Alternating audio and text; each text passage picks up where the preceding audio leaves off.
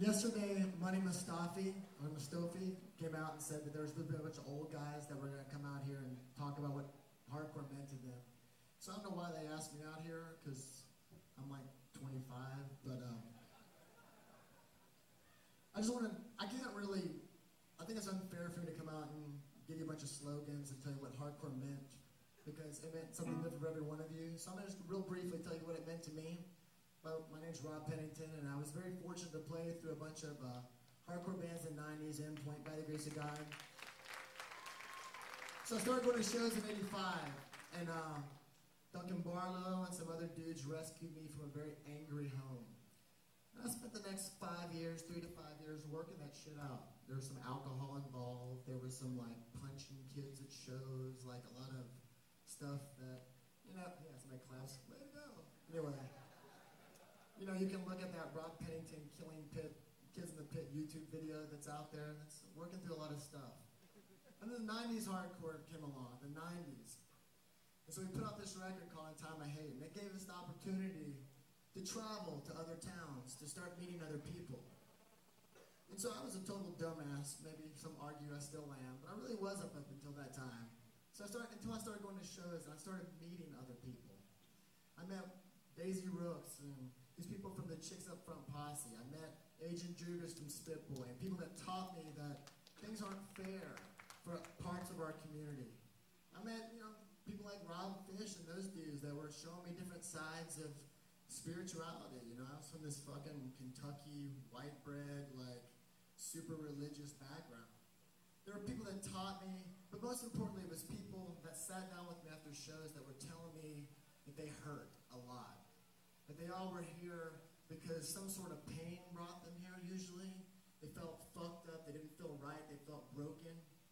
And so I started changing a little bit. I started realizing that like, you know, I could have a show where everybody here, you know, it's full of violence and full of anger. And people can just keep perpetuating that shit that was in their lives, the things that brought them to where they were, that brought them to that painful place. Or I could work along with several other people that were playing at that time to develop a community where people felt safe and felt good. If it was just for that fucking night, if it's just for three hours, they could be like, motherfucker, I am with people that care about me and I'm. And that's what 90s hardcore fucking meant. And I took that and, you know, I still play music and I still, I try to do the best. And I'm not perfect, but I try to carry that on in my life. I work with kids with disabilities work with my friends with disabilities, you know, but I just, sorry, not you, Jake Blumbo. Um, but anyway, that's what it meant to me. This is a beautiful thing. Fucking Brian, you know, last night Brian came up here and was really nervous speaking, you know, and he was like, and we all clapped and we're just like, fucking right on. And that's what this is about. So I, I know I'm starting to ramble, but thank you for being here. Thanks for just being a part of all that stuff. You guys are fucking awesome. And this band is gonna fucking blow you away. Thank you very much.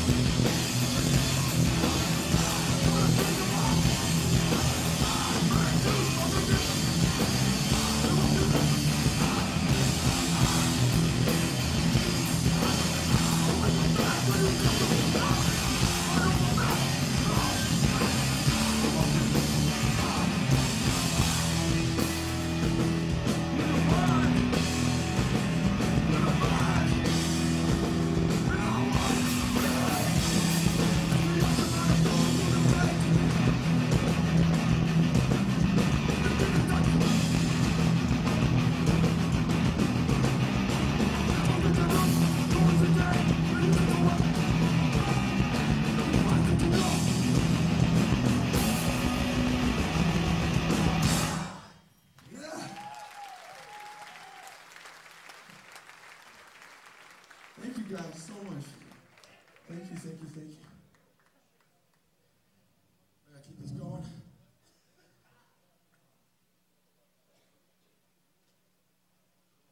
Also, thanks to Blacklisted. We haven't seen them in a while. We told them in November. Very memorable one. And I'm very happy to see those boys again. I also want to thank our friends in Bane. We did a week of of touring after the show.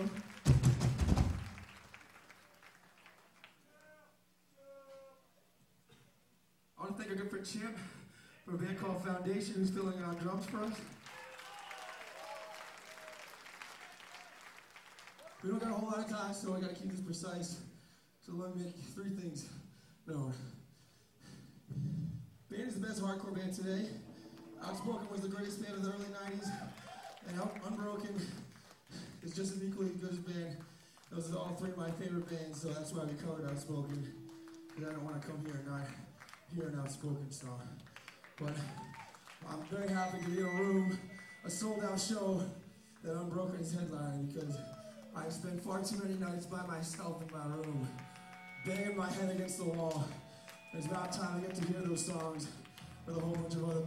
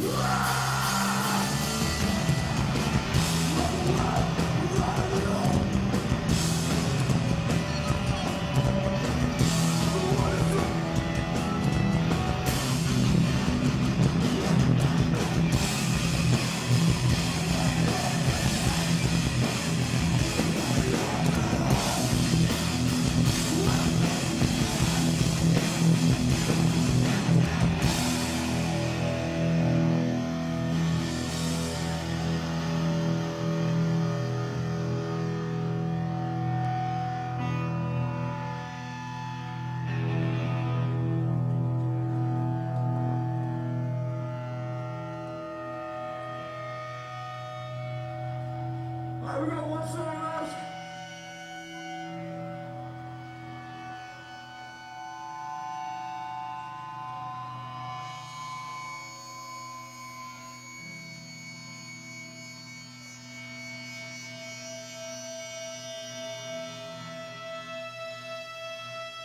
songs, one short.